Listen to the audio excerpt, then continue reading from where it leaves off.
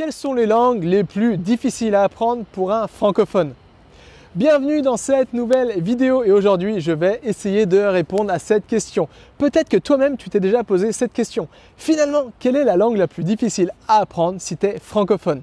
Alors pourquoi je te dis si tu es spécialement francophone? Parce que ça dépendra bien sûr de ta langue maternelle. Si tu es chinois, si tu parles chinois mandarin, mandarin si ta langue maternelle c'est le chinois mandarin, alors ces langues, les langues les plus difficiles à apprendre seront sûrement différentes que si par exemple tu es espagnol ou français. C'est pourquoi dans cette vidéo, je vais vraiment me focaliser sur les quatre langues les plus difficiles à apprendre pour un francophone. Mais avant, laisse-moi me présenter en 5 secondes. Alors, je m'appelle François et ça fait plus de 5 ans que j'aide les gens à apprendre. À apprendre à acquérir une nouvelle compétence beaucoup plus rapidement, à booster leur mémoire en vue de mémoriser plus facilement de nouvelles informations et j'aide aussi les gens à apprendre des langues étrangères. Et ça tombe bien parce que toute cette semaine, je fais un focus sur comment apprendre des langues étrangères. Mais plus spécifiquement, je fais un focus sur comment apprendre une langue en un temps record. Comment apprendre une langue rapidement. Et c'est pourquoi c'est super important de tout d'abord de se poser la question quelles sont les langues les plus faciles à apprendre? Mais ça, j'ai déjà répondu dans une autre vidéo. Ou alors, à l'inverse, se poser la question quelle est la langue, quelles sont les langues les plus difficiles à apprendre pour un francophone? Parce que Suivant le niveau de difficulté de la langue, c'est logique, et bien plus la langue sera difficile, plus il te faudra du temps, de l'énergie et de, une méthodologie certaine pour accumuler, pour apprendre cette langue. C'est pourquoi la stratégie sera complètement différente si tu veux apprendre l'espagnol ou si tu veux apprendre une langue beaucoup plus difficile, comme les langues que je vais te présenter dans cette vidéo. Alors peut-être que toi, tu rêves d'apprendre une langue étrangère. Mais peut-être que tu ne rêves pas tout simplement d'apprendre une langue étrangère comme l'espagnol, l'italien, l'anglais. Toi, tu rêves d'exotisme. Toi, tu rêves de voyage lointain. Toi, tu rêves de partir à des kilomètres. Toi, tu rêves vraiment de, rentrer en immersion dans une nouvelle culture. Une culture qui est complètement différente de la tienne. Peut-être même que tu rêves de vraiment essayer de comprendre un peu la manière de penser de gens, de personnes qui se trouvent à des dizaines de milliers de kilomètres de ta culture, qui sont complètement différents. Peut-être que toi, ce que tu veux, c'est assimiler une langue, assimiler une façon de penser, une façon de penser qui est complètement alien par exemple par rapport à la façon de penser d'un francophone. Peut-être que toi, c'est vraiment ça que tu souhaites faire. Peut-être que toi, c'est vraiment ça qui te passionne. Et peut-être que finalement, toi, ce que tu veux, c'est vraiment t'oublier, t'oublier pour une autre culture. T'oublier pour vraiment rentrer en immersion dans une culture qui est complètement exotique, qui est complètement vraiment une culture qui vient d'une autre planète. Et la meilleure des solutions pour faire ça, c'est non seulement de partir en voyage, c'est de rencontrer d'autres personnes, c'est de regarder des films, de lire des livres, d'écouter des, podcasts par exemple, mais pas que. Le meilleur moyen pour voyager, pour, pour, connaître un voyage total, pour vraiment se rentrer en immersion dans une nouvelle culture, devine quoi? Eh bien, c'est d'apprendre la langue de la culture que tu souhaites assimiler. C'est d'apprendre la langue de la culture dans laquelle tu souhaites rentrer en immersion complète. Et c'est pourquoi, finalement, c'est super intéressant de savoir si la langue est vraiment difficile pour toi si tu es francophone. Alors peut-être que par le passé, tu as déjà essayé d'apprendre des langues étrangères. Et peut-être que même que tu as essayé d'apprendre des langues qui étaient difficiles mais tu t'en es rendu compte par toi-même. Apprendre une langue étrangère, et encore plus c'est une langue difficile et totalement exotique, c'est quelque chose qui, peut vraiment paraître comme quelque chose de presque impossible. Ou alors c'est quelque chose qui est un peu galère, ou alors c'est vraiment quelque chose qui est très très chronophage, qui demande énormément d'énergie, qui demande tellement d'investissement que finalement c'est quelque chose de très très difficile à tenir sur le long terme. Mais dans cette vidéo, j'aimerais te prouver quelque chose.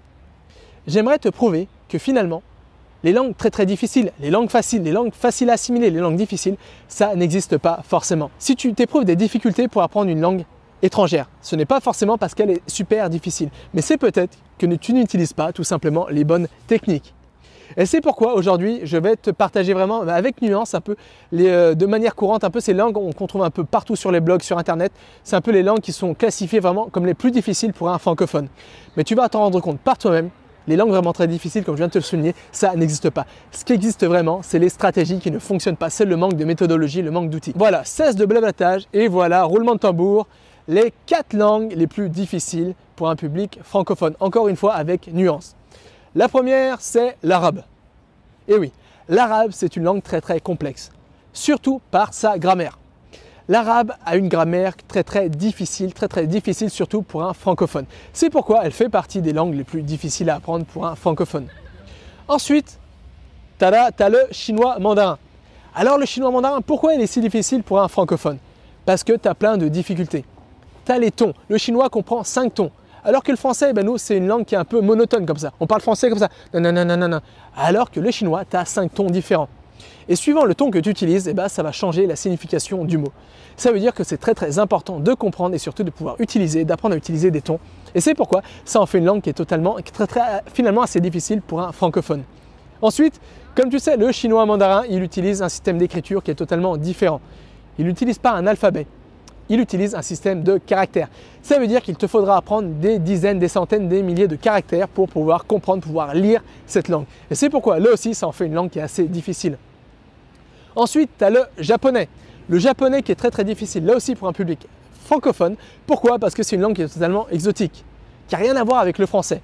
Il n'y a pas de ton. Alors ça, il y a de la chance avec le japonais, on n'a pas de ton. C'est une langue un peu monolinguale. La prononciation n'est pas forcément difficile pour un francophone. Mais là où le japonais est difficile, c'est par sa grammaire.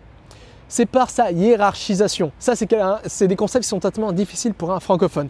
Et ensuite, comme le, chinois, pardon, le japonais, c'est une langue qui utilise un autre système d'écriture, qui utilise des caractères. Ça veut dire que là aussi, tu devras mémoriser des centaines, des milliers de nouveaux caractères. Tu souhaites lire cette langue. Et c'est pourquoi là aussi, ça en fait une langue qui est totalement difficile. Ensuite, tu as le coréen. Là aussi, parce que c'est une langue qui fait partie d'un groupe totalement différent. Et le coréen, là aussi, il utilise un autre système d'écriture. Il n'utilise pas un système euh, euh, de, caractères comme le chinois mandarin ou le japonais, mais il a son propre système d'écriture. Et là où le coréen, c'est difficile, c'est par rapport à sa grammaire. Le coréen a une grammaire, a une grammaire très très complexe. Et c'est pourquoi ça en fait une langue très très difficile. Voilà, c'est ça les quatre langues les plus difficiles pour un francophone. Alors il y en a plein d'autres, mais c'est finalement les langues de manière générale que la plupart des gens pensent qu'ils sont les plus difficiles, qu'on retrouve le plus souvent dans des études scientifiques, qui sont les plus difficiles pour un francophone. C'est les langues, entre guillemets, qui demandent le plus d'heures, le plus d'investissement, le plus d'efforts pour apprendre. Je les répète, l'arabe, chinois, mandarin, japonais et le coréen. Mais il y en a plein d'autres, il y a plein de langues qui sont difficiles. Tu par exemple le hongrois qui est très très difficile, l'estonien, le finnois qui est assez difficile aussi, le basque qui est très très difficile, qui est totalement alien, qui n'a rien à voir avec le français. Bref, tu as plein d'autres langues qui sont difficiles pour un public francophone. Mais là, vraiment, je voulais me focaliser sur ces quatre langues. Et parce que vraiment, les langues, tu en as plus de 6500. Alors, tu en as sûrement des qui vont paraître plus faciles, d'autres qui vont paraître beaucoup plus difficiles. Mais surtout, comme je te l'ai partagé, ces langues, elles ne sont pas impossibles. Difficile ne rime pas avec impossible. Ça veut dire que si tu as la bonne stratégie, si tu mets en place des bons outils, si tu te bases sur vraiment comment tu procèdes des informations d'une manière naturelle, si tu te bases sur comment ton cerveau procède des informations, sur comment ta mémoire fonctionne, alors tu vas t'en rendre compte par toi-même, même si cette langue elle est classifiée, même si les quatre langues que je viens de te partager sont classifiées comme des langues qui sont presque insurmontables, et eh ben tu vas t'en rendre compte, elles sont surmontables et finalement elles sont possibles à apprendre. Alors bien sûr, elles, demanderont beaucoup plus d'efforts et de temps que par exemple si tu souhaites, c'est français, que tu souhaites apprendre l'italien ou l'espagnol. Mais elles te donneront tellement de retours sur investissement que ça sera un gain, vraiment, ça sera vraiment quelque chose d'exceptionnel. Voilà, c'est vraiment de ça dont je voulais te parler dans cette vidéo. C'est vraiment ces quatre langues que je voulais te partager dans cette vidéo. Mais surtout, je voulais souligner cette nuance.